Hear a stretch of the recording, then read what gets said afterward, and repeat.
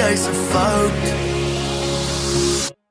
Ek wens jy hou op op